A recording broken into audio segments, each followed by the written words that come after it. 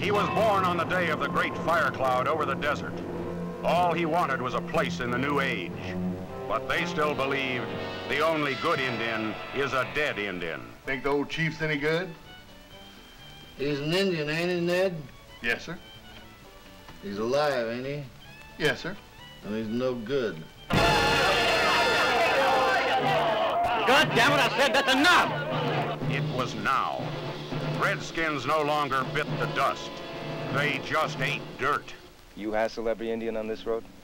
Nope. They pushed and shoved, squeezed and leaned, and leaned harder. Until they bought themselves an all-American one-man Indian massacre.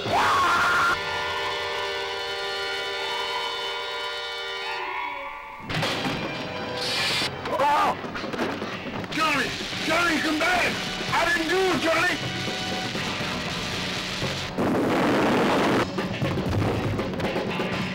And then they knew what the word savage really meant.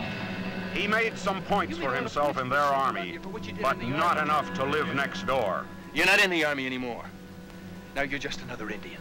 Or marry the mother of his child. Let's get married, Johnny. You can't. Johnny Firecloud. A hate story. I need Firecloud. You're gonna get him. You're gonna get him or you're gonna kill him. Or he's gonna kill you. It don't make a damn bit of difference to you either way. Starring Victor Mohica, Ralph Meeker, David Canary, Frank DeKova, Christina Hart, Sacheen Littlefeather. Johnny Firecloud. Filmed in Panavision. Rated R. From EVI.